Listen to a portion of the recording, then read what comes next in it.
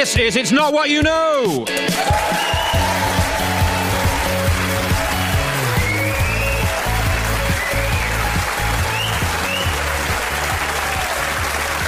Hello, I'm Miles Jupp. It's often said that it's not what you know, it's who you know. This is why no one will mind you gaining access to the driver's compartment and seizing control of a train as long as you've got a mate who works for Hornby. Or why it's perfectly acceptable to say, I may struggle to comprehend the laws of the British Highway, but I may yet be visited in prison by my former boss, Nick Clegg. On this show, we don't have the slightest interest in what you know, just who you know, and equally importantly, which is to say, not very, how well you know them. Each of our three guests has nominated someone they know well to answer a series of questions. Could be a friend, could be a family member, could simply be someone you've been plucking up the courage to proposition and figure this could be as good an opportunity as any. if my guests correctly predict the answers their nominees will give, they will score points. And what do points mean? Well, according to my dictionary, points is a technical term from the world. From the world of ballet, uh, describing the moment when a dancer supports the entirety of their body weight just on the tips of their fully extended feet. Pick up more of those fully extended feet than anyone else, panelists, and you could yet be the miffed recipient of tonight's Star Prize. A set of Russian dolls depicting the faces of all former presenters of the BBC's flagship consumer affairs programme, Watchdog, uh, arranged in order of ascending niceness. Uh, You'll have hours of fun fitting Nicky Campbell snugly inside Anne Robinson. Please welcome tonight's panel Dougie Anderson, Izzy Suttie, and Nick Helm. Ladies and gentlemen, uh, Dougie Anderson, actor, musician, man about town, teenage heartthrob, these are all types of people that Dougie Anderson has previously met.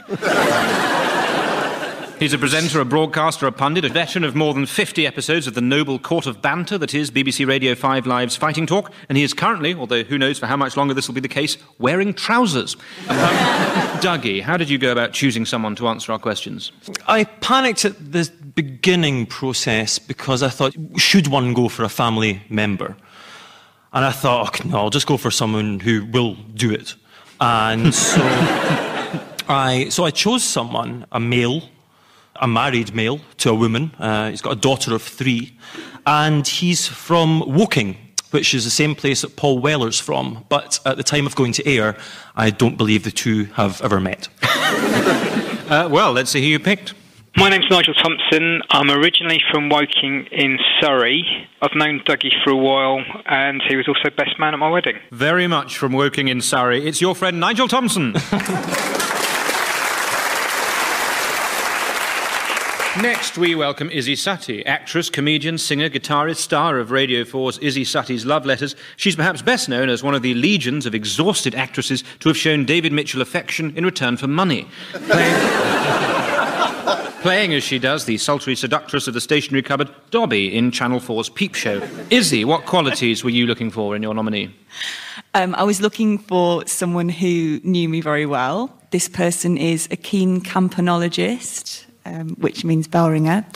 And um, I once tested our relationship by downing a bottle of tequila at the age of 14 and running my hand along the mantelpiece, smashing all of her belongings to the floor.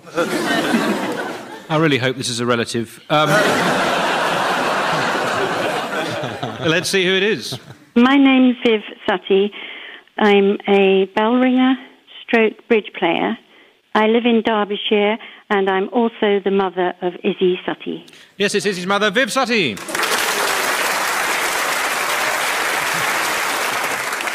What can I tell you about Nick Helm that wouldn't sound like someone merely reading a list of problems and or worrying symptoms? this man sings, this man plays the guitar, this man writes poetry, and thankfully this man has developed a habit of paying bills promptly following a series of unchallenged CCJs. Nick, tell us how you picked your nominee tonight. My first two people refused. and to be honest, I thought uh, my nominee would refuse, uh, but she didn't, so that is why I picked her. Um, but also, yeah, she probably knows me really well. Yeah, she's one of my four best friends. Because I, I rank them. Well, it sounds like a rigorous uh, selection process. Um, let's see who it is. Hello, Um, I'm Jean, and I live in St Albans. I used to work in further education colleges, and I just happened to be Nick's mum. Please welcome Nick's mother, Jean Helm. Well, it's just about time to start the show. In this round, we ask your nominees some questions to find out what they know about you. All you have to do is correctly guess how they answered those questions. Dougie Anderson, we'd like you to go first. Okay. Dougie, your interviews with various celebrities on TV and radio have made you, let's not mince words, all but famous. what happened when we asked your friend Nigel, who is Dougie's favourite interviewee? What do you think he said? I've spoken to many, many people uh, musicians, actors, basically musicians and actors, to be perfectly honest. I remember interviewing uh, Renée Zellweger in London. It was during the BAFTAs. It was an exciting time if you were nominated for one. And I was on a junket, you know, interviewing various film stars. Wasn't meant to be interviewing Renée Zellweger. She saw me in the corridor and uh, specifically asked me to interview her. So I did. I thought she was an absolute darling. She'd later gone to win an Oscar. Coincidence or not, you decide. Uh, so uh, I would have to go for Renée Zellweger, I think, yeah. Well, uh, let's find out. Nigel? I think it was Rennie Zellweger, actually.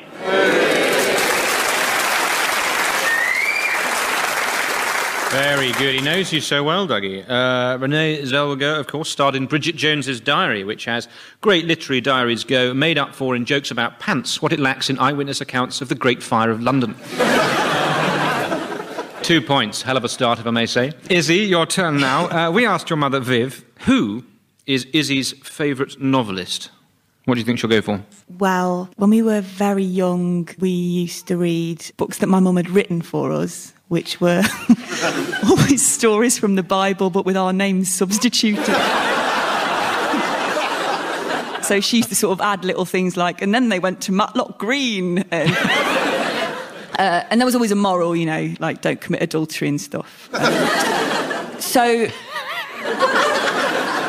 I think she knows that I didn't like those stories. Um, I think she probably said Iris Murdoch because she knows that I like Iris Murdoch a lot for her metaphors. For her metaphors. Well, uh, Viv, who's it going to be? Iris Murdoch.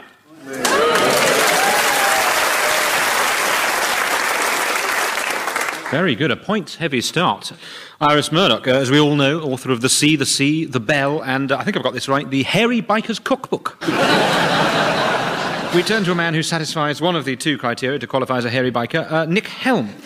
Um, Nick, we asked your mother, Jean, who is Nick's all time hero? What do you think she suggested? Well, I grew up really loving Bruce Campbell, who starred in the Evil Dead films.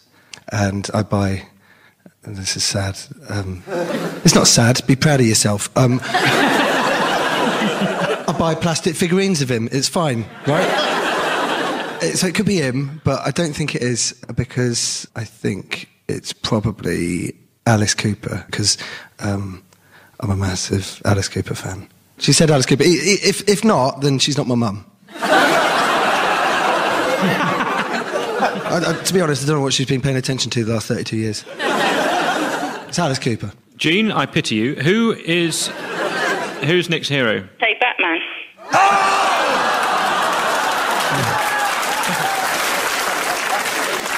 Mum!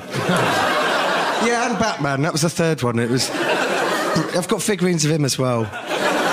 Batman, Alice Cooper, and Bruce Campbell. Yeah. Oh, No points. Uh, oh dear. Do you feel let down? yeah. I mean, it's the first time Batman's let me down. I'm glad you're blaming him and not, not your mother. Um, uh, back over now to Scotland's sixth most eligible man, brackets 2003. It was a very good year. Uh, Dougie Anderson, uh, we asked Nigel, in a film based on the story of his life, who would play Dougie? Who do you think he went for? Wow. I've been likened to a few people uh, over the years. Uh, at 18, someone said I reminded them of Richard Beckinsale. I had uh, Ray Davies for a while. I had uh, Jonny Lee Miller. I was quite pleased with that one. Had Lenny Henry a bit confused with that one. but I think the person who I've been likened to most, and who I think I'd be quite happy to play me, would be the star and indeed hero of Gregory's Girl, John Gordon Sinclair. Right, let's check it with Nigel. John Gordon Sinclair.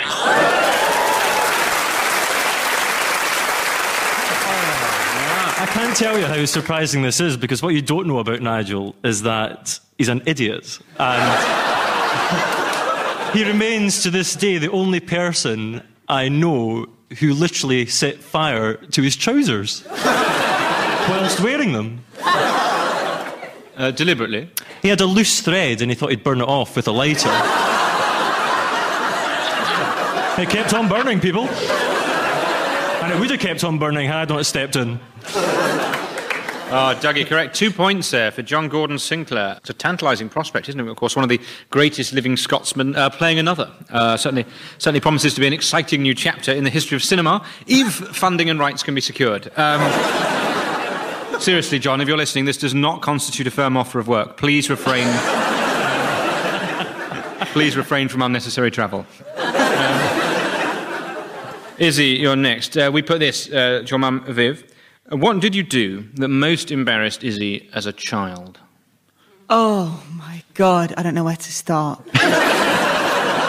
when I was about 10, she became an inventor and she sat me and my sister down and said, I'm going to invent something and you're not allowed to tell anyone in the playground about this invention because they'll steal it and I'm going to make loads of money. And we were like, as if we're going to tell anyone. Um, because the invention was a beanbag that was a rectangular shape with the keys of a piano painted onto it so that people who didn't have a piano could feel like they were playing the piano. and so that they could practice their scales. But the point of a piano is that it makes noise. Yet all that happened with the beanbag was just as you press down on the keys. I remember in Christmas 1989 how sad I was when my parents bought me a piano bag, TM. shipped all the way down from Matlock. Special delivery. Yeah, I, I think it probably was um, being an inventor, or possibly being a bell ringer, which was very, very uncool. But I, I think the inventor beat it. Okay, uh, Viv, what was it? I think washing underwear when friends came to the house. I have obliterated that from my memory. So you have no recollection of the fact that you're. Um... no, I mean, I wonder if she means hanging it out in front of my friends. Would she do it as a sort of. You know, when some people go. Someone comes to the door and they go, oh, I'll, I'll just put the kettle on. Would your mother go, oh, I'll just. I'll just put some pants on. yeah, very possibly. Uh, I'm afraid no, no points, but uh, we're all learning. We're all learning a lot. Um, on again to Nick. We asked your mother if Nick could have a superpower, what would it be? I don't know, Jean. Um, flying. I mean, Batman can't fly, so you know he's just dead hard, isn't he? So yeah, it's going to be a superpower, isn't it? Uh, well, uh, If, if she's been listening. I mean, I'm going to say probably uh, flying. Oh, oh, but you know, as a substitute. I just want to put it out there, just invisibility, but that's not really a superpower. That's that's more of an affliction, isn't it? Um, flying, flying. Let's go with flying. Okay, uh, via invisibility, flying. Jean, where's your money going? I think he'd like to go faster.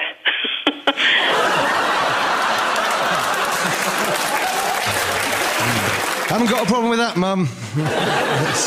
he likes to do lots of things, but I think he could fit more in if he could go faster. You don't know anything, Jean! I was trying to meet you halfway with flying. It's not going faster. It's the new breed of superhero. What's he called? Mr. Pragmatic. he can get slightly more done in a day. It amazing having four points. we laugh, but it is. Goodness me, we've reached the end of the first round. So it's time to look at the scores, which, as always on It's Not What You Know, have been independently verified by some people that we know. In this case, the RNLI. Met up with them in early this week. Great bunch of lads. They really did push the boat out. Uh, in fact, allowed me to ride in it all the way back to the shore whilst explaining to me very nicely that simply wearing armbands did not make me a seaworthy vessel. and we can see that, oh, surprisingly, in third place is Nick. In second place is Izzy. And only just out in front, it's Dougie. Well, we've already found out how well the nominees know the panelists. Now we're going to see how well the panelists know their nominees. This time out, we start the questions with Izzy Suttie. Izzy, we asked your mother, Viv, if forced to participate in the 2016 Olympics, what sport would you choose? What do you think she said? Bell ringing, if that could be a sport, obviously it can't. Um, so I think she might say something sort of generic that everyone can do, like gymnastics or like long jump. It's just jumping a long way. okay, gymnastics or uh, long jump, just, you know, every man's sports. Okay, um, let's see what Viv says.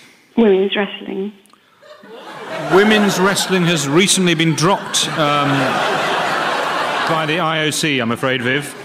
Oh, right, okay. Darts. Um, darts, darts is not an Olympic sport, Viv. Snooker's no good, is it? No. Um, chess? is that Sport, Viv. Bridge? Don't take the mic. Rounders? Is No, it no, no.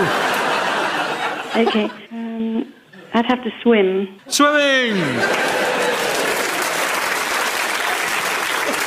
I love the fact that she didn't say swimming. She said, I'd have to swim. she didn't say where to. Yeah, what, what's that event where they have to swim? uh, swimming. Yeah, we got there in the end. Um, I did have my doubts at one point. Uh, like, like talking to an elderly relative about what they want for lunch and being repeatedly asked, What's happened to the prettier nurse? Um, no points. Time now to go to Nick Helm. Nick. we asked your mother, Jean, Jean, who is your favourite recording artist? What do you When she she, uh, when we were growing up, uh, she be like uh, Tina Turner, and we went to uh, see Tina Turner.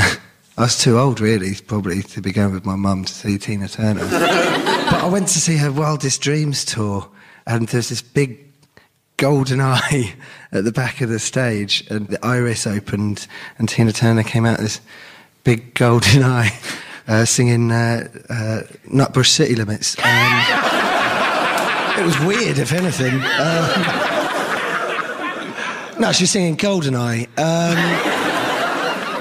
so she really liked Tina Turner, but she hasn't done anything in a while. Um, she likes Coldplay, which, you know, it makes Christmas hard. Um, and she likes Bruce Springsteen. I mean, this is just me listing things now, isn't it? Well, if I you, just really want to be right, you know? why not narrow it down to one? No, I, I'm going to go with Coldplay, but I mean, I hope it's Tina Turner. Right, uh, gamesmanship. Let's find out. Jean? I'd have to say Coldplay, probably.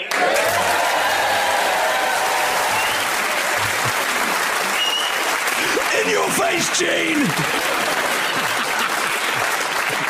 Jean! One of the great moments in British quizzing. Uh, oh, fantastic. How does that feel? Amazing. Nick Helm has two points. The final question in this round goes to Dougie Anderson. We asked Nigel, Nigel, if you could do any job, what would it be? He doesn't like the job he's in at the moment. Uh, no, he's very vocal about it. Not obviously at his place of work, where I, where I hear they love a bit of Radio 4 comedy. um, I, well, his main passion, uh, like me, is music. He can't play anything for Toffee, but he would have loved to have toured the world. I- I'd say a, a, a musician. Musician, Nigel, reveal? Probably Spurs manager, I think. Yeah. Spurs manager Nigel dreams of working in an equestrian tack shop. Um,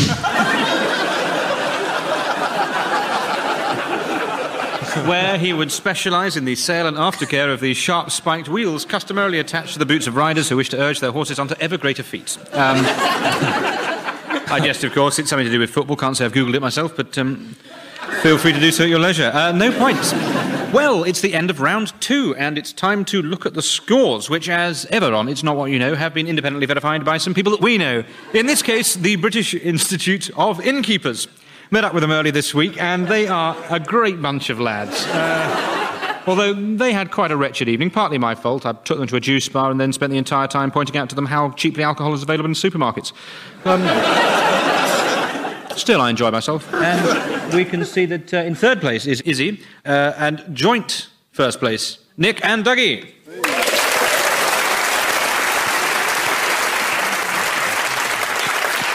On with round three.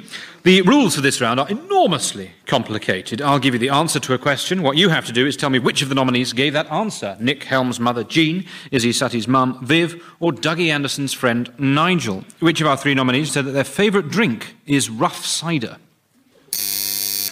Dougie. I don't think it's Nigel because he's not that picky. He'd just say cider. Um, I'm going to go for Viv. Okay, Viv. My favourite drink is rough cider. Oh, yeah. When, uh, when do you like that, Viv? Well, the pub in Belper, after bell ringing, is taken to have guest ciders in, and they taste disgusting, but you kind of crave them. Two points there, yes. Uh, there we go, a life of rough cider and bell ringing. Uh, I quite often forget what a strong foothold the Amish have in Derbyshire. and now, which of the nominees said that their first pet was a cat called Marmalade? Izzy. I know it's not my mum because the only pet we had when we were little was a goldfish called Bobo, which I won from the fair. And she went outside to change its water and laid Bobo out on the rockery to dry. Sounds like someone who's high on a bit of rough cider.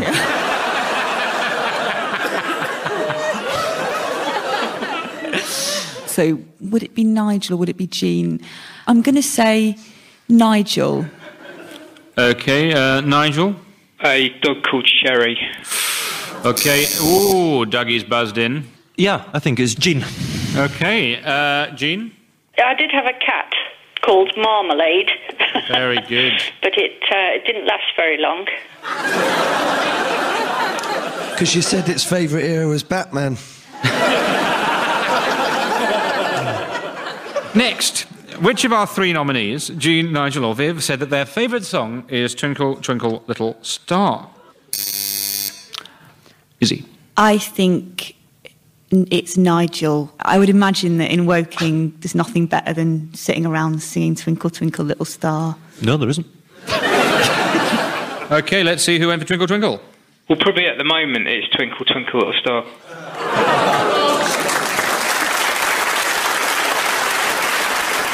Yes, uh, Twinkle, Twinkle, Little Star, how I wonder what you are. The clue's in the previous line. It's a star. ridiculous. It's ridiculous. on and on this country goes, wondering where it's going wrong. Anyway, not my place to make a fuss. Um, well, it's the end of that round. We can see that in third place is Izzy, in second place is Nick, and out in front it's Dougie.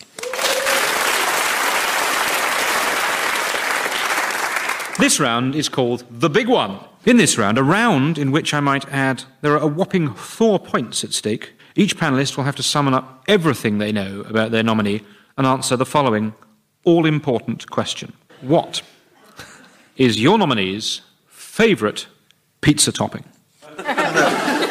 this round, of course, takes inspiration from the classic 1950s panel game Animal Vegetable Pizza, where uh, each week Arthur Askey would invite four ration book clutching members of the post war British public to hazard a guess as to what a pizza might be. Um, Dougie Anderson, you're first to take the pizza challenge. What do you think Nigel likes on his pizza? I think I'd enjoy a pepperoni, but I just think it's a little bit too middle of the road. So I'll go for, I'll go for spicy chicken and peppers. Let's see, Nigel, what do you like on your pizza? Ham and pineapple, controversially. Oh, ham and pineapple. Well, that tells you everything you need to know about Nigel. Um, provided that what you needed to know about Nigel is, is, is what he just said. Um, we turn now to Izzy Suttie. Uh, how would your mother choose to garnish a pizza? We, we presume with foodstuffs, you may know better. Um, well, she's quite a health freak, so I think she'd probably lose the cheese um, and just have tomato, tuna, maybe a bit of sweet corn, and I guess glazed with rough cider. Well, it sounds like it would stay in your system for a reasonable amount of time. Um, is it right, Viv? I don't know the name of it, but as long as it's got salami sausage in it. Salami, sausage. I don't know the name of it. It's a pepperoni. no points. Um, finally, Nick Helm. Nick, can you perform under this intense pizza related pressure? what do you think your mum's going to go for? Uh, she doesn't eat pizza because it's got yeast in it. But in th- her old pizza eating days, I think that she probably ate something like four se- uh, Is it four seasons? What's on a Uh, Four Seasons? We can crowdsource this. What's on a Four Seasons? And don't you have like a tunery one in one bit with like uh, anchovies on it, and then you have like a pepperoni, then you have a cheese, and then you have something that's got something spinachy on it. Mushrooms. Mushrooms, that's it. And she loves mushrooms. Right, uh, let's see if you're right, Jean. I like anchovies, tuna, sweet corn, mushrooms. There we are. You've done it. You've done it. I used to go for pepperoni, but I've gone off that now. It's a wonderful story. So it's the end of the show. And as ever on It's Not What You Know, the points have been verified by some people that we know, the Independent Regulator and Competition Authority for the UK Communications Industries, Ofcom. Um, met up with them earlier this week. Have to say, great bunch of lads. Um, the chat was uh, pretty family friendly to begin with, but after nine o'clock, my goodness, they became filthy. Um, and the final scores show that in third place is Izzy, but in joint first place, Dougie and Nick.